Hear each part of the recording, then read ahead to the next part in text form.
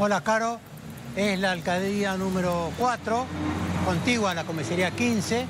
Aquí están alojados 22 de los detenidos por la Policía Federal. Adentro de la alcaldía, los 22.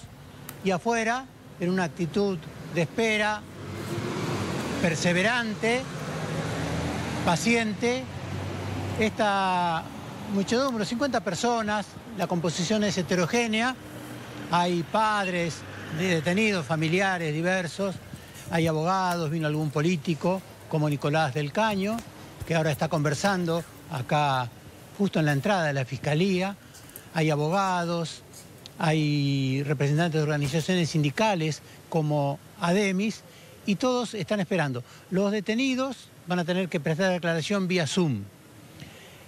Los cargos que imputa la Fiscalía son serios, porque fueron serios los desmanes, los destrozos, los policías y gendarmes heridos.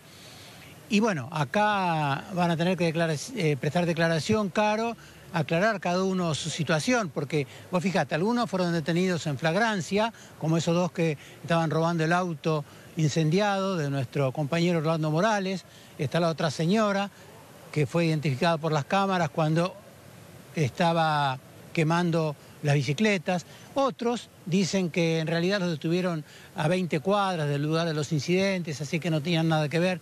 Van a tener que aclarar su posición ante la justicia. Insistimos, los cargos son gravísimos, las autoridades van a fondo, los que tengan antecedentes van a ver complicada su situación y vamos a seguir aguardando aquí, como toda esta gente, una resolución de esta situación.